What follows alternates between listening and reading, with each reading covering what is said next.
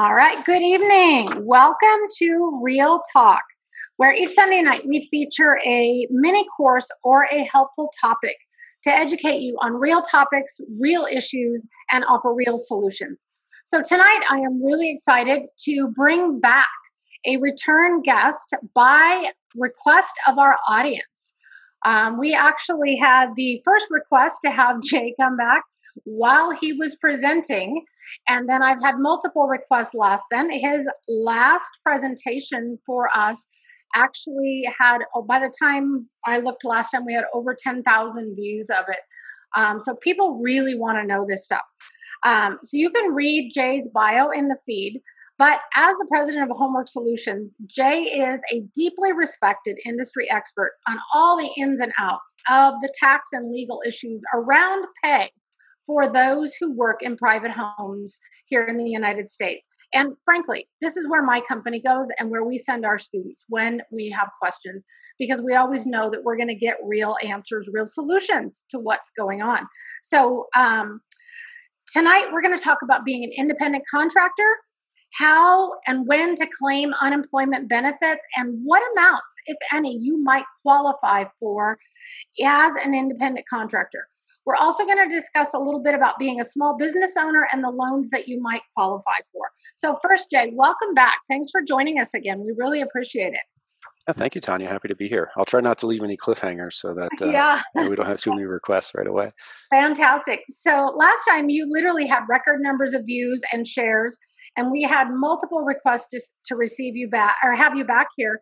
And we have had this um, announcement about this shared more than anyone that we've ever done. So clearly, this is something people really want to know about. Yeah. Um, so, what I would like to do before we delve into this is I would like to ask you to give us a really brief definition of what exactly an independent contractor is and is not as it relates to the in home environment, working sure. and providing care in the home. Sure. So um, I could give you the the stock answer of well, the IRS has their twenty point test and walk you through the entire list, right? right. Um, but the, the the simplest way to think of this is who controls the work, right? Who sets the schedule? Who determines who can be in the home working?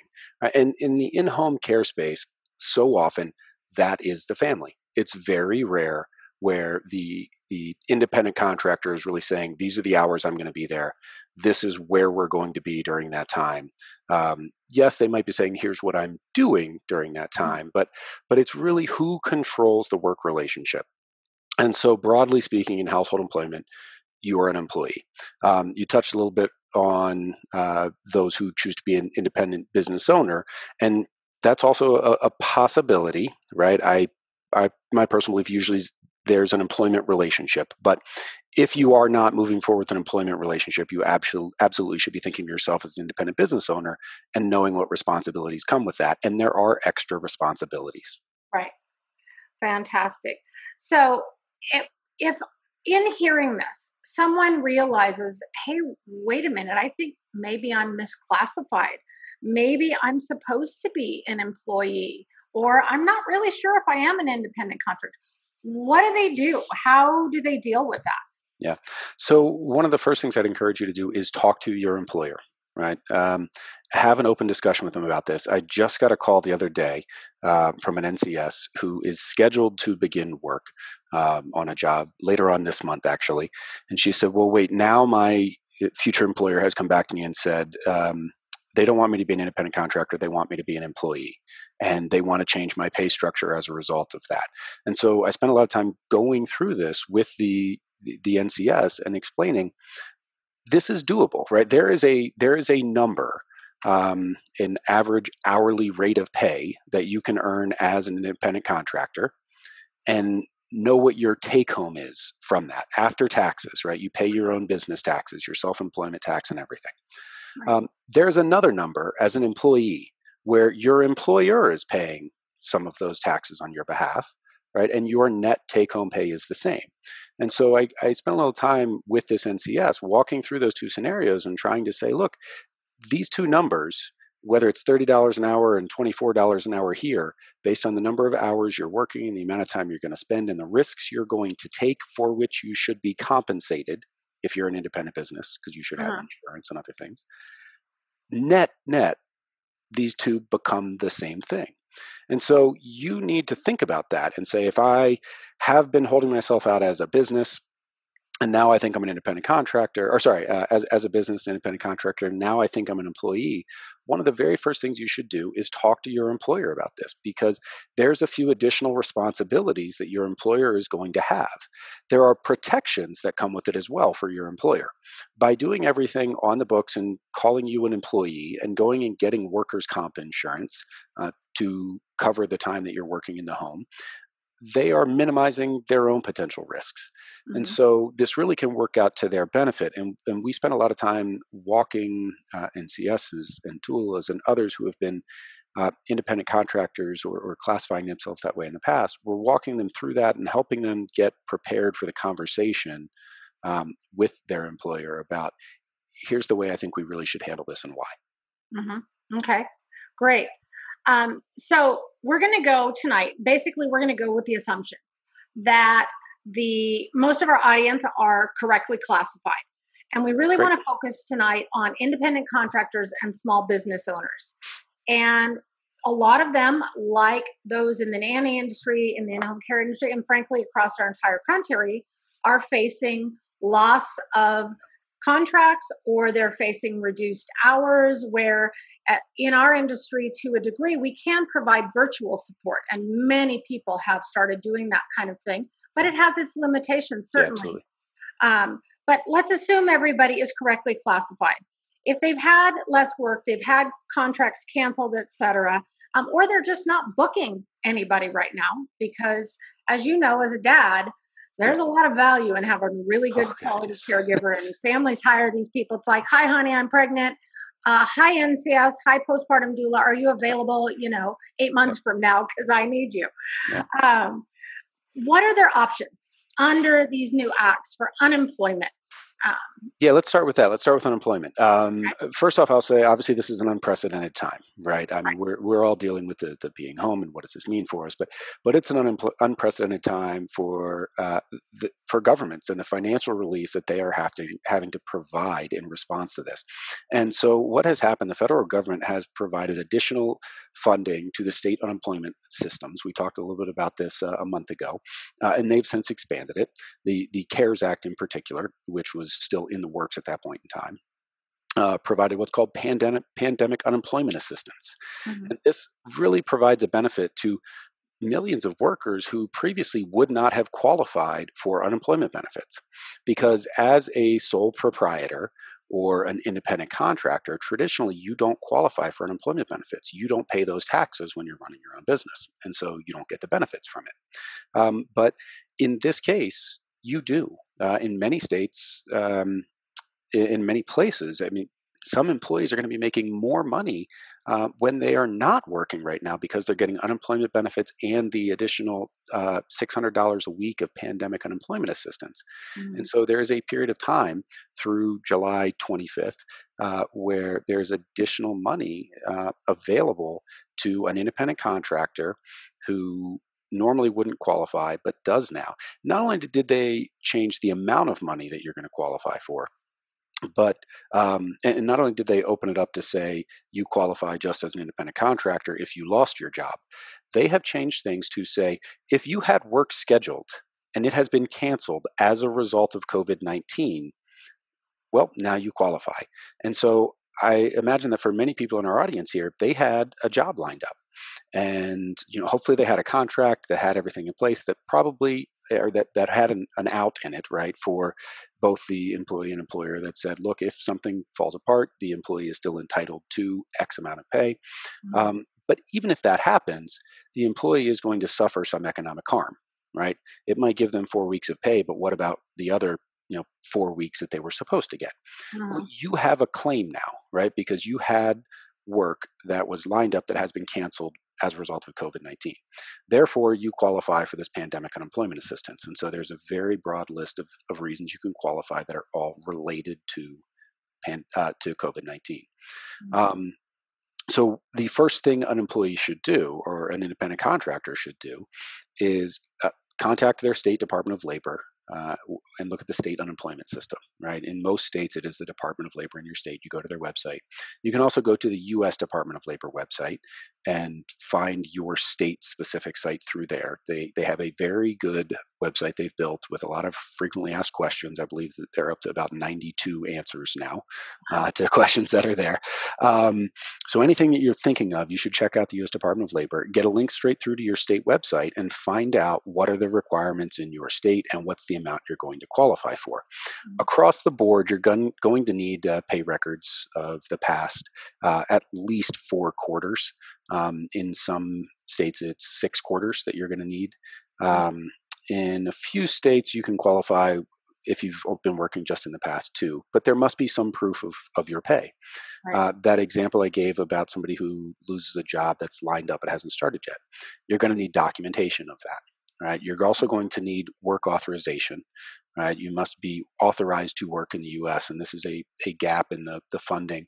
Um, there are many people who do not have work authorization in the U.S. but are actually paying and filing taxes um, who are not getting benefits throughout all this. Um, we won't dive into that too deep because there's really nothing in place for them right now, unfortunately.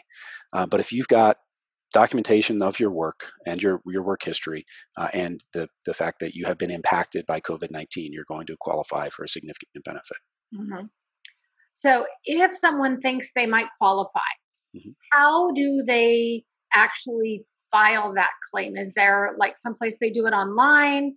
Um, how does that yeah, work? The state website is the way to go. Every state has their own uh, unemployment system, and you are going to file in the state where you were working. So if you're working across state lines, uh, keep that in mind. You are working in the state of Connecticut while living in New York.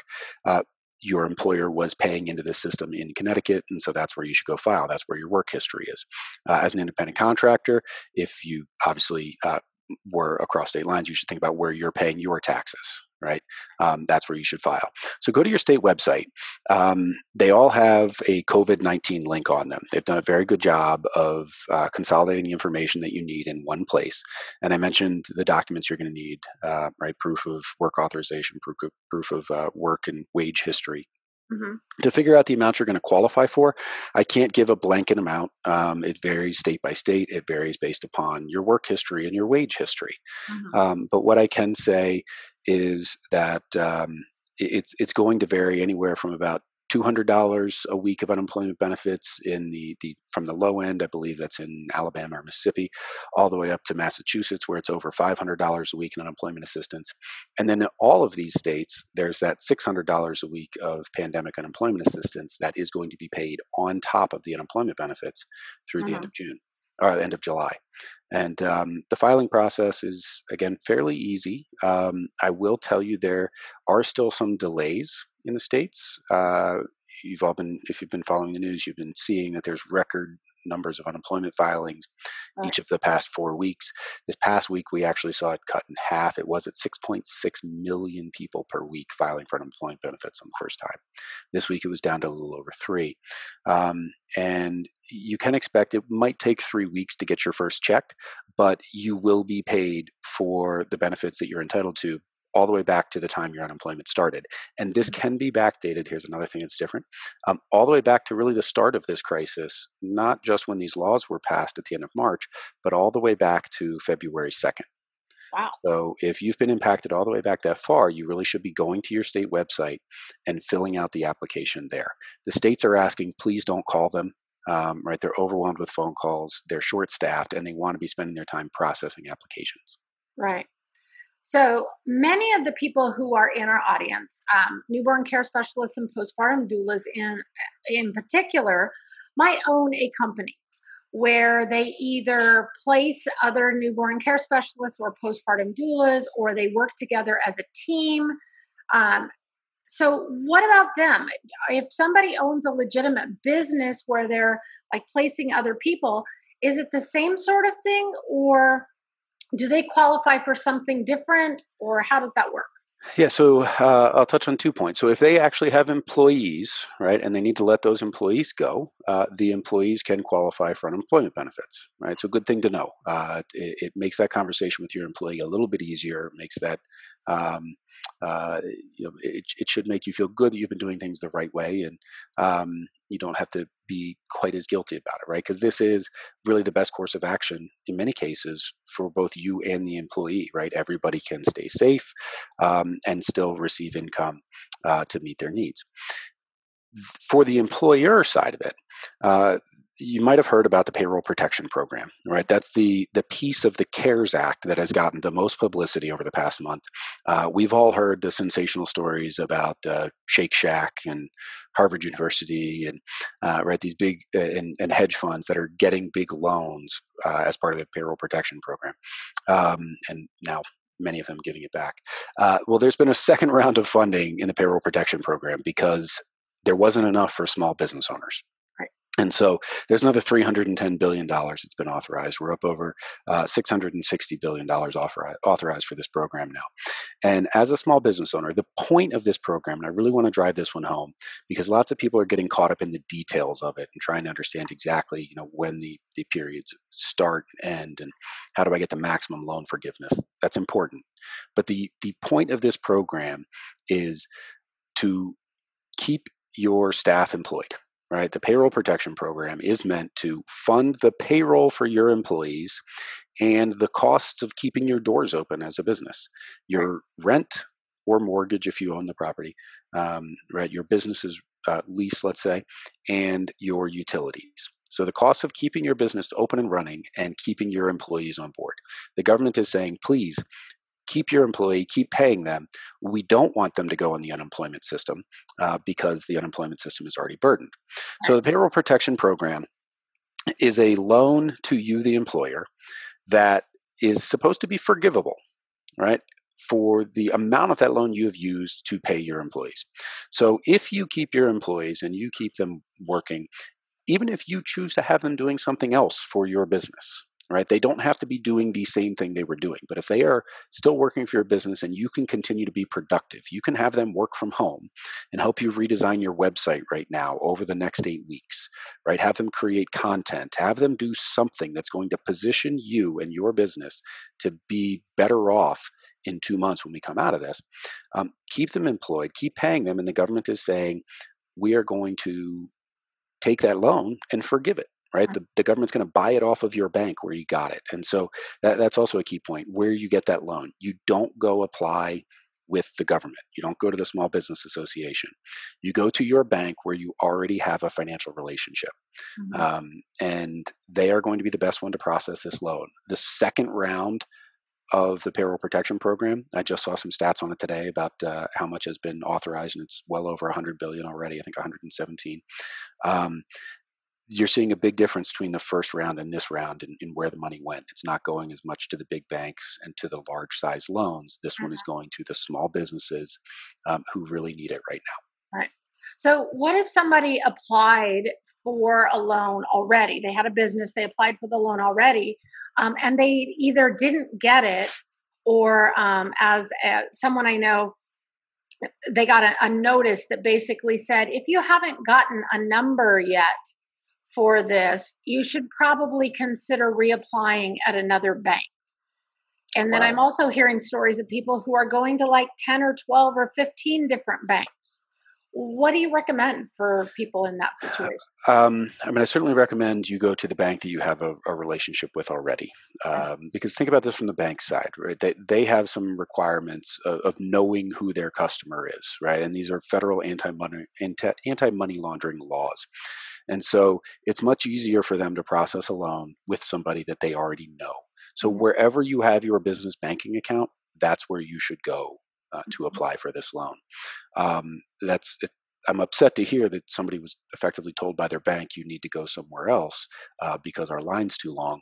Um, I, I, don't know that there's a better solution to them other than contact some of your your colleagues and your friends and find a new banking relationship. Um, you know, and and see who had a great experience, and and if you can find a small bank um, to whom you are kind of a bigger fish in their small pond, that's a place to go.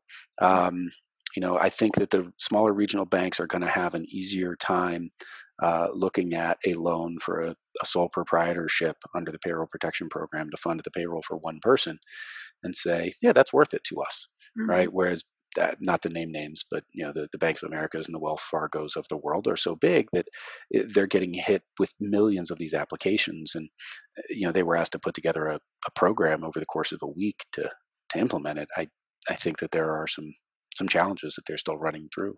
Right, absolutely. Um, so, what else do you think is really important that the people who are either independent contractors or have these very small businesses what other things are really critical that you think they know right now? Um, so there's a few things. I've heard lots of questions from um, small business owners who say, "Well, my business is seasonal. You know, what am I supposed to do about this payroll protection program, and how do I calculate the amount of the loan that I qualify for. Um, so if, if you have a business that is seasonal, um, there has been some clarification provided by the SBA, Small Business Administration, and the Department of Treasury about that. And they're giving you different windows of time from which you can choose the 12 week period that allows you to qualify for the largest loan. Um, so I, I, want you to know about that. That uh, again, the SBA and the Treasury are trying to work with you to to do the right thing and to find the answers. And they keep updating this program um, as they get questions and feedback about how it's working. Mm-hmm. Um, one of the most recent topics I've heard a lot of discussion about is uh, the eight week period in which your expenses qualify for loan forgiveness. Um, so it's supposed to be eight weeks after the date you receive the funds. Okay. Um, but for many people in many states, they can't bring their employees back to work right now because the state is still shut down. So how are they? Are they supposed to pay them to do nothing? Is that what the government's really asking? Um, and so the um, AICPA, right, the, the, accounting industry is all reaching out to the Department of Treasury and IRS and others and saying, hey, look, you need to do something about this and potentially change the uh, the that loan forgiveness period so that it's not the eight weeks after you receive the funding it's the eight weeks after the state reopens and a business can start having their employees come back in mm-hmm. um, i i want to be clear right now the rules still say it's the eight weeks after you receive your funding uh, and the payroll you pay your employee. But um, I highlight this one just as an example of how flexible this still is. And so you really should be keeping an eye on the websites of the Small Business Administration, um, the IRS, the Department of Treasury. Um, if you are a small business owner and you're applying for the Payroll Protection Program loan if you are an independent contractor who is or sole proprietorship who's applying for unemployment assistance um, you should be looking at the u.s department of labor website and you should be looking at your state unemployment website mm-hmm. again that all of these organizations are doing a really good job of, of posting updates uh, on information that is really being thrown at them, and they're they're being asked to implement a program that didn't exist um, within a week, and so you're going to see things continue to change, and and we'll be obviously doing our part to make sure we're passing out updates uh, as often as we can. Right. So we do have um, in the comments somebody said my bank also told me that they were not accepting applications anymore and to look elsewhere. Wow. Um, but the specific question said, can you please speak to businesses that run as a sole proprietorship LLC? I've been told I can apply and should apply, but the application is confusing as I do not technically have employees. Yeah, well, you have one employee. As a sole proprietorship, you have one employee, and so that's how you should be filling out the uh, the payroll protection program application. And the amount of the loan that you would qualify for is based off of the compensation that you yourself took uh, over the time period that's laid out in in this uh, uh in the legislation, which is really from February fifteenth, twenty nineteen, through uh, I believe really it's uh, June 30th, 2019. Mm-hmm. Um, and again, there's some flexibility there if, if you're a seasonal business. Um, the way you demonstrate your income as a sole proprietorship is that you should be filing your 1040 each year saying this is my business. It's just me. Here's what i've earned. And you should be claiming that profit or loss of your business on a schedule c and so, what you're going to need to do with the application process for the Payroll Protection Program loan is file a Schedule C for 2019. you do not have to have filed your personal income tax return for the year. Right, that date has been extended until July 15th.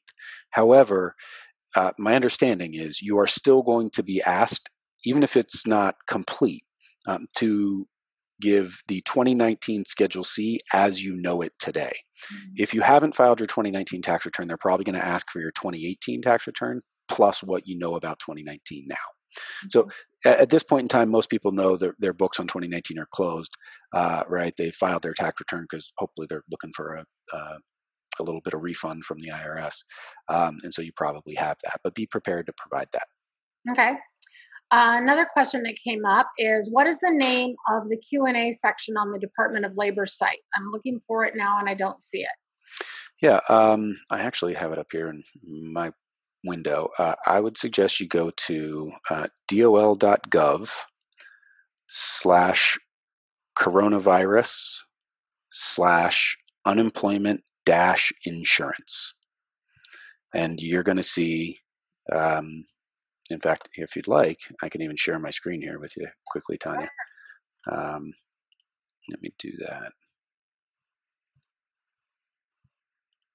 Let's see if this will let me. It should. Doesn't look like it is. Not on the lower part of your screen there.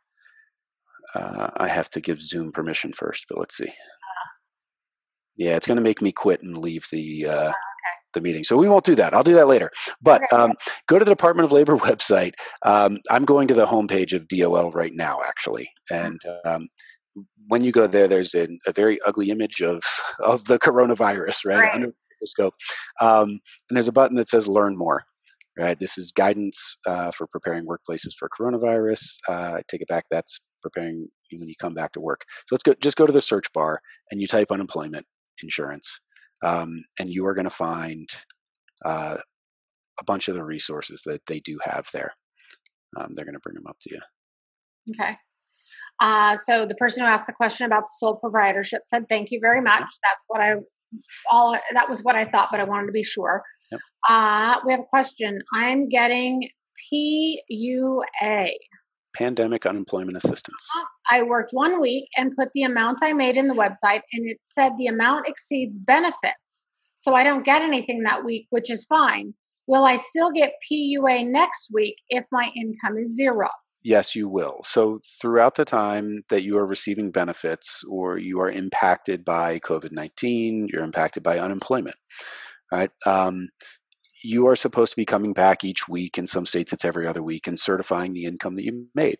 In normal times, to receive benefits under the unemployment system, uh, you need to be able to demonstrate that you are actively searching for a job. Mm-hmm. Currently, they're waiving that. They're saying, look, we understand in these times people need to stay home, stay safe, um, and they're going to have difficulty finding a job. But you're still going to have to come in each week or every two weeks and certify any income that you did have. And the state's going to do a calculation um, every one of those times to say this is the amount of benefits that you qualify for this given period of time. Perfect. Okay. Um, any final tips? I'm going to wait and see if we get any questions, but any final tips for people as they're just trying to navigate this stuff, particularly when they're having a hard time getting answers? Are there any yeah. great sites? Are there any resources? Can they reach out to Homework Solutions? Yeah, um, absolutely. You can reach out to us at Homework Solutions. Um, we're spending way too many hours looking at these websites and uh, and digging through their details and their frequently asked questions, and so we like to put that to use. Um, all right. I mean, I, I spend most of my time each morning briefing our staff on, hey, here's what I found yesterday. Here's yeah. what just changed. Um, you know, one thing that we talked about last time, Tanya. This might not be a bad time for me to highlight it. Uh, we talked about the Families First Coronavirus Response Act and um, the fact that uh, a quarantine order um, or a, a stay at home order from the state might not qualify uh, as a reason why you have to stay home. Uh, and that's what all the attorneys were saying. A stay at home order is not a quarantine order. Well, thank you, Department of Labor. They have come out and clarified that yes, it does. Right. Mm-hmm. So, uh, for their purposes, for FFCRA, that does qualify. So, check the again the Department of Labor website, uh, the IRS website on coronavirus. I will tell you that one seems to be the slowest uh, to be updated, uh, but that's because they have the the ultimate burden of dealing with the final answer on how these things are going to be taxed, uh, right. and so I think they're being very cautious about how they they supply answers. But uh, the Small Business Administration website, also the U.S. Chamber of Commerce. Um, so here's a good one for you. Go to uh, uschamber.com. Um, on their homepage, there's a button to click. Uh, button to click that says "View All Resources." Uh, about responding to coronavirus. So they have the best short little summary I have seen of the payroll protection program. It's five pages. It's got some graphics, but uh, uh, some graphics that, that explain the formula pretty well. Right. right. Some people are visual learners. Some like numbers. Um, I think they did a great job of you know meshing the two together and mm-hmm. explaining the payroll protection program in in five pages. Not only um, how you apply, what you qualify for, but what potentially is going to be forgiven for you later on. They also built a nice web page with resources for independent contractors. Um, so again, U.S. Chamber has been a good site to check out. Great. And um, Homework Solutions, our knowledge center as well. Um, you know, we keep posting things there. You know, normally we have a regular schedule of one blog post a week. We're probably putting up three or four things a week right now as, as these are all updated. Right. No, you guys have been doing an amazing job. So we had um, a question that said, "My um, bank said I've been approved, um, but I haven't seen any money yet. Does that mean I'm actually going to still get it? Yes, you're going to get the money. If you've, if you've, been approved, that means that they have an approval number from the Small Business Administration, and it might take them a little bit of time. Uh, that after you get the approval from SBA, uh, what is probably going to happen is they're going to send you documents, which is uh, really the loan agreement. Um, it'll be a fairly short thing. Um, you're going to sign it send it back, and they probably are going to fund your account that same day or the day after. Okay. Um, they have to, um, by law, uh, this law, fund your account within 10 days. Um, and I believe that's 10 business days. At least that's the way the banks seem to be interpreting it. Mm-hmm. Um, so within two weeks, your account will be funded. And this is another place where I would just encourage the business owners on this call to keep in mind um, the the spirit of this rule and of this program and what they're trying to do to get you to keep paying your employees um, and to incentivize you to do so by telling you we're going to make it forgivable. Mm-hmm. Um, and many people again are worrying about you know exactly when I make the payment and they're going to look at that eight week window and look at all the payments you make to employees in that eight week window. Make sure that you're paying the amount that you've borrowed right to your employees and to your lease and your utilities in that eight week window in order to maximize the uh, the loan forgiveness when that comes around. Mm-hmm. Okay, we have a couple more questions. Um, Patricia James, if, Patricia, if you're still on and listening, I'm not quite sure I understand your question. So if you could rewrite it, we can ask it, and we'll try and get you an answer. Um, because I'm not certain what you're asking yet. Uh, we have another question. It says, I saw from a nanny today if she's uncomfortable working with sick children, COVID or not, and chooses to leave her position, could she apply for unemployment insurance or would the family need to let her go before she qualify? Yeah. So, uh, you know, before this call, I was just looking back through the FAQs again um, on unemployment assistance. And um, I saw one specifically there saying that if you choose to leave your job for fear uh, that you might get sick, that is voluntarily leaving. Mm-hmm. Um, now, if the employer were to tell you, um, no, uh, I don't want you here because of this, that's them terminating your position. But if you are not going to work just because you fear you may get sick, you're not going to qualify for unemployment assistance unless you have some pre existing health condition and mm-hmm. you have a physician who says you should not go out as a result of this you okay. should stay home and i think many physicians are going to tell you if you were to call them and say and, and many physicians are moving to telemedicine right now my, my wife and her practice is one um, i think that they're going to say tell me what your situation is and you're going to say at my job three of the people in that home have covid-19 and a physician is quickly going to tell you don't go to work now you're going to qualify uh, because you have a COVID 19 related reason not to go to work. Okay, great. Uh, so Patricia gave us a, a, better explanation. It makes much more sense now um, than what I understood before. And she only added a couple words, but it makes all the difference. Um, I've been home for two months. I have a nanny job and I have an independent contractor job at night. My nanny job is still paying me, but I um, own those hours since March. Uh, I think, oh, she's been paying me on those hours since March. Can I apply to PUA for my independent contractor job, even if my nanny job is still paying me? Yeah, so this is a question really about furloughs, right? Um, well, I, take it back. It's not. So you had, Patricia, you had two different jobs. Um, and absolutely, you can apply for benefits if one of your jobs disappears or your income at that second job uh, declines. Uh, if there's a reduction in hours, you can apply for benefits. So uh, you absolutely should. Um, the amount of the benefits you're going to qualify for again depends upon what your work history is has been what your wage history has been so i can't tell you the exact amount but it sounds to me like you would qualify uh, i touched a second ago on furloughs and so let me circle back to that if you just have one job and your hours are reduced you can still qualify for benefits. Unemployment benefits are not only for those whose job has been fully eliminated, uh, it is also for those whose work has been reduced as a result of COVID 19. Perfect. So um, we may have other questions that come up afterwards. We find sure. um, that these get shared. Your last one um, was shared over 50 times after the, live thing.